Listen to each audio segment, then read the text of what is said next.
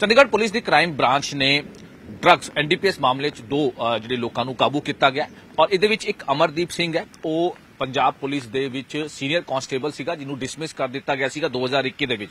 Police ਨੇ ਪਹਿਲਾਂ ਪ੍ਰਵੀਨ ਨਾਂ ਦੇ ਜਿਹੜੇ ਸ਼ਖਸ ਨੂੰ ਕਾਬੂ ਕੀਤਾ ਗਿਆ ਸੀਗਾ, ਹੀਰੋਇਨ ਦੇ ਨਾਲ। ਔਰ ਉਸ ਤੋਂ ਬਾਅਦ ਉਹਦੀ ਪੁੱਛਗਿੱਛ ਸਾਹਮਣੇ ਆਇਆ ਕਿ ਅਮਰਦੀਪ ਸਿੰਘ ਤੋਂ ਉਹ ਲੈ ਕੇ ਆਂਦਾ ਹੈ ਤੇ ਅਮਰਦੀਪ ਸਿੰਘ ਫਿਰੋਜ਼ਪੁਰ ਦਾ ਰਹਿਣ ਵਾਲਾ ਹੈ। ਤੁਹਾਨੂੰ ਦੱਸ ਦਈਏ ਕਿ ਹੁਣ ਅਮਰਦੀਪ ਨੂੰ ਫਿਰੋਜ਼ਪੁਰ ਤੋਂ ਕਾਬੂ ਕਰਕੇ ਇੱਥੇ ਲਾਇਆ ਗਿਆ ਹੁਣ ਤੱਕ ਦੀ ਪੁਲਿਸ ਨੇ ਜਾਣਕਾਰੀ ਦਿੱਤੀ ਹੈ ਕਿ ਅਮਰਦੀਪ ਸਿੰਘ, ਇਸ ਤੋਂ ਪਹਿਲਾਂ ਵੀ ਐਕਸਾਈਜ਼ ਐਕਟ ਦੇ ਤਿੰਨ ਮਾਮਲੇ ਦਰਜ ਨੇ। ਫਿਰੋਜ਼ਪੁਰ ਸਿਟੀ ਦੇ ਐਨਡੀਪੀਐਸ ਮਾਮਲਾ, ਇੱਕ 39 ਸੈਕਟਰ ਮਾਮਲਾ ਦਰਜ ਹੈ, ਇੱਕ ਮਾਮਲਾ ਹਰਿਆਣਾ ਦਾ ਵਿੱਚ ਐਨਡੀਪੀਐਸ ਦਾ ਹੈ।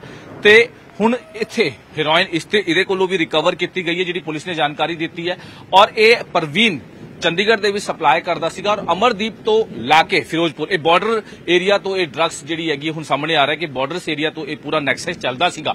ਔਰ ਪੂਰਾ ਟਰਾਈ ਸਿਟੀ ਪੰਜਾਬ, ਚੰਡੀਗੜ੍ਹ, ਹਰਿਆਣਾ, ਇਹਦੇ ਵਿੱਚ ਇਹ ਪੂਰੀ ਸਪਲਾਈ ਹੁੰਦੀ ਸੀ ਔਰ ਅਮਰਦੀਪ ਨੇ ਅੱਗੇ ਆਪਣੇ ਐਸੋਸੀਏਟ ਰੱਖੇ ਹੋਏ ਸੀਗੇ, ਯਾਨੀ ਕਿ ਸਪਲਾਇਰ ਰੱਖੇ ਹੋਏ ਸੀਗੇ ਔਰ ਅੱਗੇ ਤੋਂ ਅੱਗੇ ਉਹ ਸਪਲਾਈ ਕਰਦਾ ਸੀਗਾ। ਹਾਲਾਂਕਿ ਇਹਨਾਂ ਕੋਲੋਂ ਹੈਰੋਇਨ ਦੀ ਰਿਕਵਰੀ ਹੋਈ ਹੈ। ਪੁੱਛਗਿੱਛ ਸਾਹਮਣੇ ਆਇਆ ਹੈ ਕਿ 2021 ਦੇ ਵਿੱਚ ਸੀਨੀਅਰ ਕਾਂਸਟੇਬਲ ਹੁੰਦਾ ਸੀਗਾ ਪੰਜਾਬ ਪੁਲਿਸ ਦੇ ਵਿੱਚ, ਫਿਰੋਜ਼ਪੁਰ ਦੇ ਵਿੱਚ, ਇਹਦੀ ਤੈਨਾਤੀ ਸੀ ਔਰ ਉੱਥੇ ਇਹਨੂੰ ਡਿਸਮਿਸ ਕੀਤਾ ਗਿਆ ਸੀਗਾ। ਪੰਜਾਬ ਪੁਲਿਸ ਦੇ ਅਫਸਰਾਂ ਨੇ ਇਹਨੂੰ ਡਿਸਮਿਸ ਕੀਤਾ ਸੀ ਔਰ ਉਸ ਤੋਂ ਬਾਅਦ ਇਹ ਕਈ ਮਾਮਲਿਆਂ 'ਚ ਪੁਲਿਸ ਨੇ ਇਹਦੇ ਖਿਲਾਫ ਮਾਮਲਾ ਦਰਜ ਕੀਤਾ। Excise act NDPS act Haryana 'ਚ ਵੀ, ਚੰਡੀਗੜ੍ਹ ਦੇ ਵਿੱਚ ਵੀ। ਹੁਣ ਚੰਡੀਗੜ੍ਹ ਪੁਲਿਸ ਦੀ ਕ੍ਰਾਈਮ ਬ੍ਰਾਂਚ ਨੇ ਇਹਨੂੰ ਕਾਬੂ ਕੀਤਾ ਗਿਆ, ਮਾਮਲਾ ਦਰਜ ਕੀਤਾ ਗਿਆ। ਕਿਸ ਤਰ੍ਹਾਂ ਦਾ ਨੈਕਸਿਸ ਹੈ? 3 ਦਿਨ ਦਾ ਇਹਦਾ ਰਿਮਾਂਡ ਹੈ।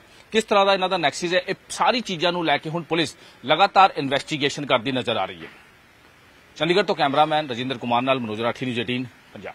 ਚੰਡੀਗੜ੍ਹ ਪੁਲਿਸ ਦੀ ਕ੍ਰਾਈਮ ਬ੍ਰਾਂਚ ਨੇ ਡਰੱਗਸ ਐਨਡੀਪੀਐਸ ਮਾਮਲੇ 'ਚ ਦੋ ਜਿਹੜੇ ਲੋਕਾਂ ਨੂੰ ਕਾਬੂ ਕੀਤਾ ਗਿਆ।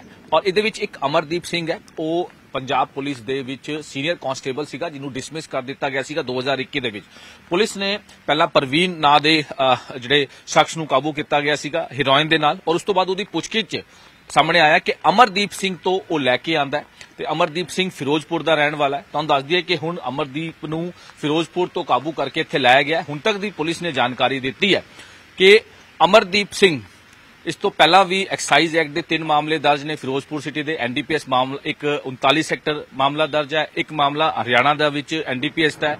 ਤੇ ਹੁਣ ਇੱਥੇ ਹੀਰੋਇਨ ਇਸ ਤੇ ਇਹਦੇ ਕੋਲੋਂ ਵੀ ਰਿਕਵਰ ਕੀਤੀ ਗਈ ਹੈ, ਜਿਹੜੀ ਪੁਲਿਸ ਨੇ ਜਾਣਕਾਰੀ ਦਿੱਤੀ ਹੈ।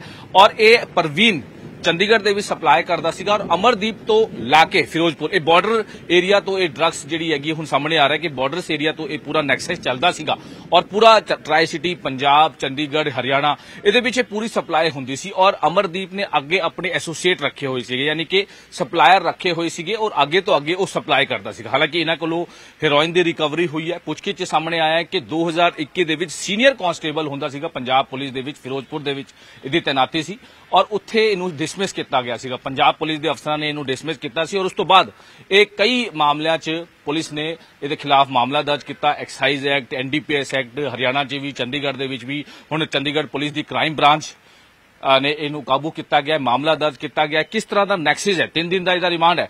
ਕਿਸ ਤਰ੍ਹਾਂ ਦਾ ਇਹਨਾਂ ਦਾ ਨੈਕਸਿਸ ਹੈ? ਇਹ ਸਾਰੀ ਚੀਜ਼ਾਂ ਨੂੰ ਲੈ ਕੇ ਹੁਣ ਪੁਲਿਸ ਲਗਾਤਾਰ ਇਨਵੈਸਟੀਗੇਸ਼ਨ ਕਰਦੀ ਨਜ਼ਰ ਆ ਰਹੀ ਹੈ।